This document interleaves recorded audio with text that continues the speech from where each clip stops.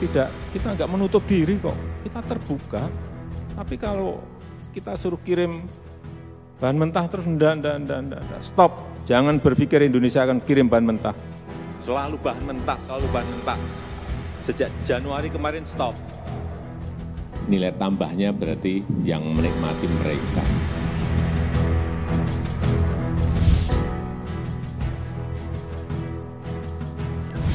Tegas, Jokowi minta genjot hilirisasi bauksit smelter aluminium.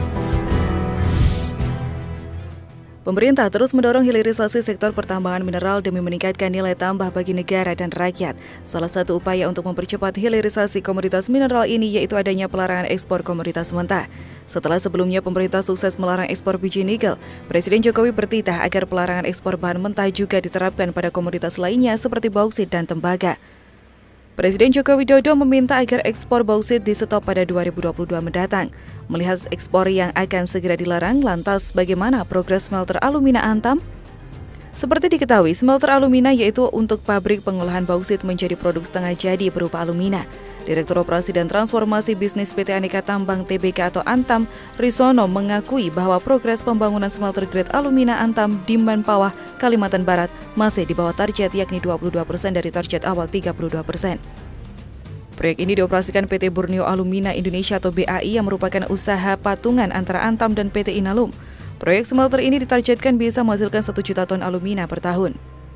Smelter grade alumina Kalbar saat ini progres pembangunan sekitar 22 persen, lebih lambat dari perkiraan semula 32 persen. Keterlambatan ini karena adanya disput atau sengketa di antara pihak internal dari pihak konsorsium yang mengerjakan proyek rekayasa, pengadaan dan konstruksi EPC senilai 831 juta US dollar ini. Seperti diketahui, kontraktor pengerjaan EPC proyek SGA ini yaitu konsorsium PT PPTBK Persero dan perusahaan Cina yakni Shenyang Aluminium and Magnesium Engineering and Research Institute Co Ltd atau SAMI yang berada di bawah Aluminium Corporation of China. Dari persentase pekerjaannya masing-masing 75% Chinalco dan 25% PTPP. Namun karena adanya pandemi COVID-19 di tengah perjalanan, maka tengah dilakukan penghitungan kembali biaya-biaya material baik besi dan lainnya yang diperkirakan ada tambahan biaya hingga 100 juta US dollar. Sebagai informasi, cadangan bauksit RI merupakan peringkat ke-6 terbesar dunia. Berdasarkan data buklet bauksit 2020 Kementerian ESDM mengolah data USGS Januari 2020, jumlah cadangan bauksit Indonesia mencapai 1,2 miliar ton atau 4 persen dari cadangan biji bauksit dunia yang sebesar 30,39 miliar ton. Selama tiga tahun ke belakang ini, terlihat penjualan biji bauksit Antam melesat pada 2019, yakni mencapai 1,66 juta ton. Sementara pada tahun 2018 mencapai 920 ribu ton, 2019 mencapai 1,66 juta ton, tahun 2020 mencapai 1,23 ton, sedangkan hingga September 2021 mencapai 910 ribu ton. Adapun pemilik cadangan biji bauksit terbesar di dunia yaitu Guinea mencapai 24 persen, lalu Australia menguasai 20 persen, Vietnam 12 persen, Brasil 9 persen, dan kemudian di peringkat kelima ada Jamaika 7 persen.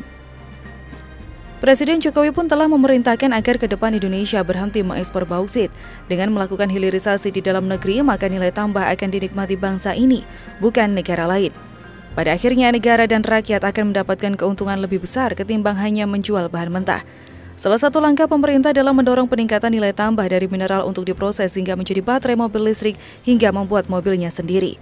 Jokowi menegaskan apabila Indonesia tidak bisa buat mobil listrik sendiri, setidaknya akan menerapkan bisnis to bisnis dengan mengambil perusahaan yang sudah berjalan atau existing untuk kolaborasi, tapi dengan perhitungan yang ekonomis. Jadi tidak, kita nggak menutup diri kok, kita terbuka. Tapi kalau kita suruh kirim bahan mentah terus ndak, ndak, ndak, ndak, ndak. stop. Jangan berpikir Indonesia akan kirim bahan mentah. Nikel pertama, udah stop Tahun depan mungkin bisa stop bauksit.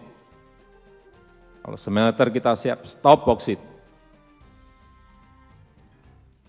Sehingga kita bisa membuka lapangan kerja, hilirisasi, industrialisasi di negara kita. Bauksit sudah, tahun depannya lagi stop tembaga. Karena smelter kita di Gresik sudah mungkin hampir selesai, stop. Selalu bahan mentah, selalu bahan mentah. Sejak Januari kemarin stop. Karena strategi besar kita ke depan, kita ingin jadikan nikel ini litium baterai. Ya. Dengan menciptakan nilai tambah yang setinggi-tingginya bagi ekonomi kita. Jangan sampai kita memiliki tambang, kita memiliki konsentrat, smelternya, hilirisasinya ada di negara lain. Seperti tadi disampaikan Pak Menteri, ada di Spanyol, ada di Jepang, nilai tambahnya berarti yang menikmati mereka.